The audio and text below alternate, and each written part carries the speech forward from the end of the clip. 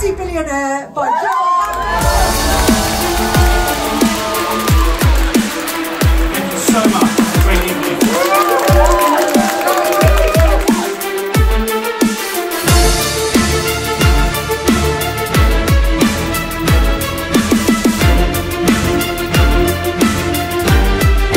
Watching that, I think sky's the limit. I left school as well with no qualifications. Today I'm worth 50M, not as much as Alfie, so he's an inspiration to me to keep going. We just didn't know where we were going to go from one minute to the next. This is how these documentaries are. They're very ad hoc. One minute I'm in a car, I'm doing the sound, I'm doing the filming, I'm following him out of that into a helicopter. to see people's reactions from it is great. This was about a man that was out to help you.